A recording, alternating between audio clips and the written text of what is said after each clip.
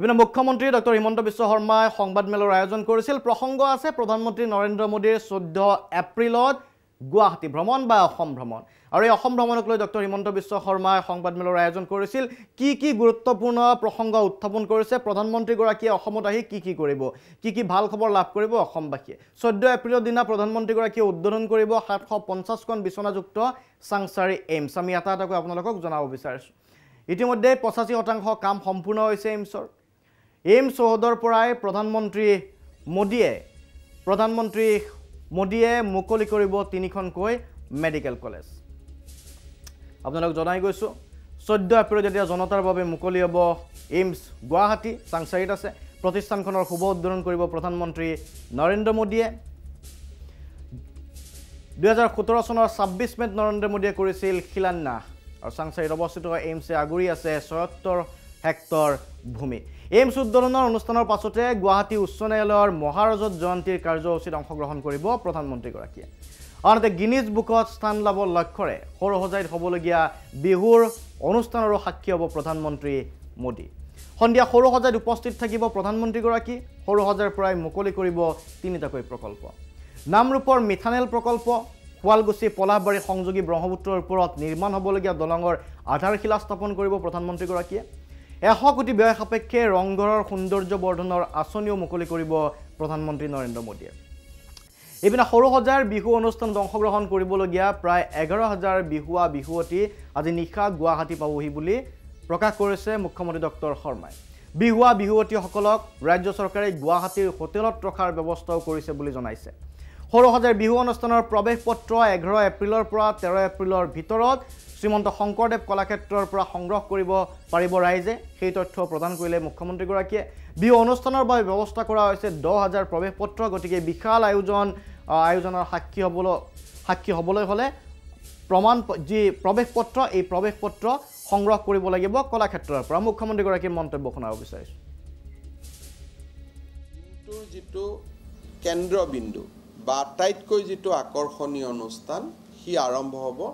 সেইটো হৈছে এঘাৰ হাজাৰ দহগৰাকী বিহুৱা আৰু বিহুৱতীৰে বিহু নৃত্য প্ৰদৰ্শন।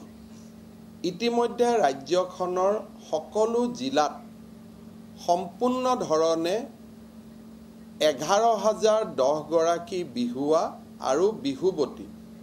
এই মেগা শ্ব'ৰ বাবে প্ৰস্তুত হৈ উঠিছে। আজি নিশা আৰু কালি দহ তাৰিখে বিশেষকৈ দহ তাৰিখে নিশা এই বিহু আৰু বিহুৱতীসকল গুৱাহাটীত আহি পাব। এঘাৰ বাৰ তেৰ তেখেতসকলে সৰু সজাইত ড্ৰেছ ৰিহাৰ্চেল কৰি নিজক প্ৰস্তুত কৰি তুলিব। আৰু চৈধ্য তাৰিখে প্ৰধানমন্ত্ৰী নৰেন্দ্ৰ মোদী ডাঙৰীয়াৰ উপস্থিতিত আৰু বিভিন্ন গেজেট বা আন উৎসাহ উদ্দীপনাৰ মাজত আমি এই বহাগ বিহুৰ প্ৰদৰ্শন বা অসমৰ বাপতি সাহোন বিহুৰ প্ৰদৰ্শন আমি আৰম্ভ কৰিম। ঠিক আছে মুখ্যমন্ত্ৰীগৰাকীয়ে এই সম্পৰ্কে বিহু সম্পৰ্কে মন্তব্য আগবঢ়ালে আৰু এইবাৰ আমি দেখুৱাব বিচাৰিছোঁ এইমছ সম্পৰ্কে এইমছ যিহেতু মুকলি কৰা হ'ব গতিকে এইমছ কিধৰণে প্ৰস্তুত হৈ উঠিছে সেই সম্পৰ্কে মুখ্যমন্ত্ৰীগৰাকীৰ চমু মন্তব্য। চাৰিত এইমছৰ নিৰ্মাণ কাৰ্য পঁচাশী শতাংশ সম্পূৰ্ণ হৈছে আৰু পোন্ধৰ শতাংশ সম্পূৰ্ণ সময়ৰ লগে লগে হৈ থাকিব। এইমছ গুৱাহাটীৰ আনুষ্ঠানিক উদ্বোধন অসমৰ স্বাস্থ্য খণ্ডৰ বাবে এটা আশাৰ বতৰা। এই এইমছ গুৱাহাটীখন ভাৰত চৰকাৰে নিৰ্মাণ কৰি উলিয়াইছিলে। আৰু প্ৰায় এহেজাৰ এশ তেইছ কোটি টকা এইমছ গুৱাহাটী নিৰ্মাণৰ বাবে ব্যয় কৰা হৈছিল। গতিকে এইমছ ইতিমধ্যে সাজু হৈছে কিছু অংশ কাম বাকী আছে পৰৱৰ্তী সময়ত সেয়া সম্পূৰ্ণ হ'ব বুলি কৈছে। লগতে স্বাস্থ্যসেৱা নতুন স্বাস্থ্যসেৱা আয়ুষ্মান ভাৰতক লৈ কি নতুন ঘোষণা কৰিব বিচাৰিছে বা প্ৰধানমন্ত্ৰীগৰাকীয়ে কি ক'ব মুখ্যমন্ত্ৰীগৰাকীৰ মুখেৰে শুনি লোৱা হওক। প্ৰধানমন্ত্ৰীৰ আয়ুষ্মান ভাৰত আৰু মুখ্যমন্ত্ৰীৰ আয়ুষ্মান ভাৰতৰ আয়ুষ্মান অসমৰ এটা সংযোজন। কিন্তু এই আঁচনিখনৰ সুবিধা ল'বলৈ যাওঁতে প্ৰত্যেক পৰিয়ালক ৰেচন কাৰ্ডৰ উপৰিও আয়ুষ্মান ভাৰত বা আয়ুষ্মান অসমৰ এখন কাৰ্ড লাগিব।